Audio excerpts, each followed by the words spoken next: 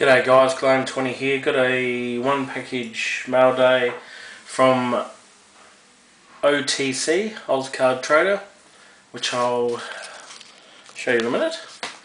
Also enjoying a nice Friday night beer. Don't want to don't want to spill it. Ah, tastes so sweet in that Poker Champion mug. Need to get my name engraved on here again for the second time. Hang on. Oh yeah, Ant hasn't won it yet. Um, anyway, I'll get get Bubba, my nightlight, in place, ready to shine, some light on this mail day. So I said from Ozcard Trade, I've already opened it um, happy to add this to the collection. It's in absolutely beautiful nick too, which is good for these type of cards. They can get a bit banged up. And it is. Oh, look at the light, hey? That's magic. Bubba doing his job. It's a Rick Barry uh, PMG blue. And it's numbered to 50 sorry I'll get out of the way so Bubba can shine some light on that. 34 of 50 there we go. So really happy to add that.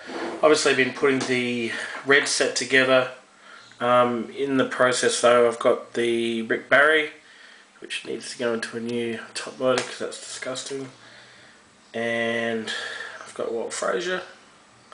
Or Fraser well, that's numbered 15 of 50 that needs a new top loader too.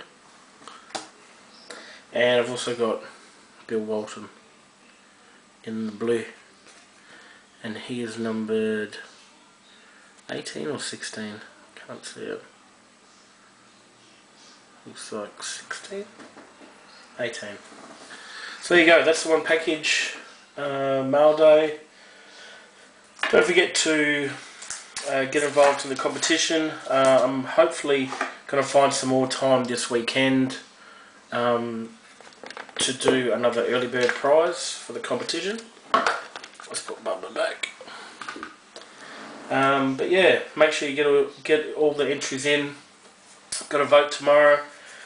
Looks like uh, K Rudd's going to be out but uh, we shall see.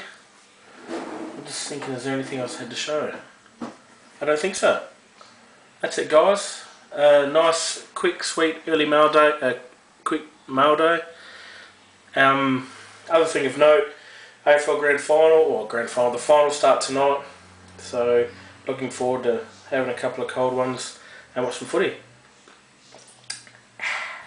Alright guys, take it easy.